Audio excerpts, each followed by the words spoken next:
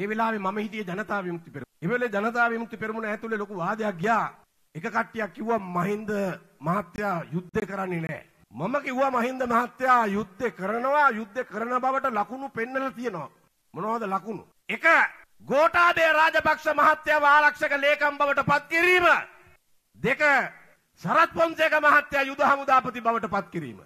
ත්‍රිවිධ හමුදාව සිවිල් ආරක්ෂක බලකාය පොලිසිය මේ හැම කෙනෙකුටම රණවිරුව කියන ගෞරවාන්විත පදය ආරෝපණය කළේ ගෝඨාභය රාජපක්ෂ මැතිතුමා ආරක්ෂක ලේකම් හැටියට. මේ තියෙන මේ ඒ අය සලකපු විදිය මේ දැන් මහ ලොකුවට රණවිරුවන් ගැන කතා කරන අය මේ ලියුම 2012 මහින්ද රාජපක්ෂගේ හිටපු කාර්ය මණ්ඩල ප්‍රධානී ආබාධිත රණවිරුවන්ගේ සංගමේ සභාපතිට ලියපු ලියුම.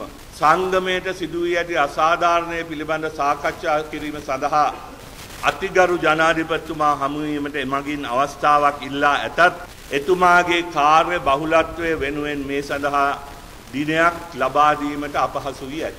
ආර්ථිකය පණගන්න හැකි නායකෙක් සංවර්ධන වෙන රටක් බවට මහින්ද රාජපක්ෂ කාල පරිච්ඡේදය ඉයලි සංවර්ධනයට ගේන රටක් කිරීමේ ඉලක්කයට රට ගෙන යාමයි මේ ජයග්‍රහණයේ අරමුණ.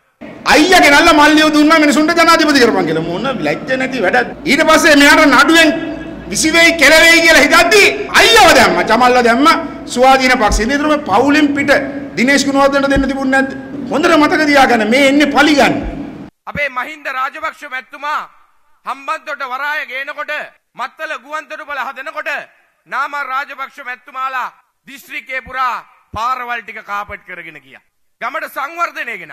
හයිවේ හැදෙනකොට රට ඉක්මනින්ම සංවර්ධනය වෙන්න පටන් ගත්තා. ඒගොල්ලෝ අපිට නිකන් අධිවේගී මාර මැජික් පෙන්න මැජික් පෙන්වන්න පුළුවන් දූපතක වගේ හැංගිලා ඉන්න මිනිස්සු. හැබැයි ලෝකේ දන්න අයට බොරු කරන්න බෑ. අපි නම් අහන්නේ මොකද? ඕයි ඕ හදන්න තියෙන මීට අවුරුදු 20කට විතර උඹලා ඇවිල්ලා කාලා මේ නාස්ති කරලා තමයි මේවා කරන්න බැරි උනේ.